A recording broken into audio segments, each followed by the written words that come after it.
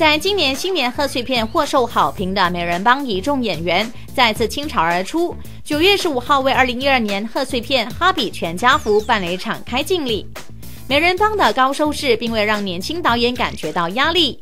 导演说，收视率靠的是演员，他已经交出了故事内容了。《哈比全家福》说的是一张全家福照片背后大家都意想不到的故事。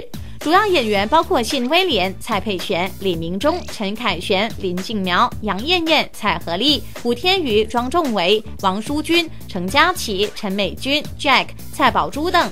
这一次的情侣配对都是延续美人帮的原班人马，造型夸张。众演员在开镜礼上表示，觉得自己得罪导演。大家都觉得导演把自己喜欢的元素都套在演员身上。就像庄仲伟的造型就是导演最喜欢的。对于再次与李明忠配对的杨艳艳也作状表示不满，因为美人帮里少说一句 sorry，臭到不行的蔡和丽这次在戏中迷恋并狂追林静苗。江追来喽！啊，不懂啊？他当时怎怎么办呢？对不对的？我也是其中一个德军导演啊，明显。对，不只是在外形上哦啊。我跟去年一样倒霉，我又是跟啊林小姐配到。呃，倒霉，可能我也忘了，我还是跟呃李先生配的。对。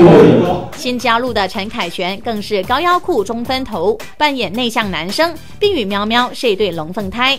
女主角蔡佩璇说。导演要他在平平无奇的性格中想办法凸显自己，真的很难。就是已经没有什么特别东西的，之余你还要去想办法让自己突出。其实我觉得都要突出到来，你又不不能让人家觉得说，呃，你非常刻意去搞笑，非常刻意的想要跟其他人一样，就是说，呃，很搞怪、很鬼、很鬼马的。所以我觉得那个那个尺度要拿捏到很好，就是要经过思考的去揣摩这个角色咯。对，一定要思考。呃，今年的名人帮跟明年的哈比全家福呢的不一样之处，就是这次依然会走啊走这个搞笑的路线了，可是是亲情的关系，嗯，而不是爱情，嗯对，就是一般传统华人家庭啊，他们就是把爱放在心里，爱你在心口难开那种那种那种呃感觉拍出来了，嗯。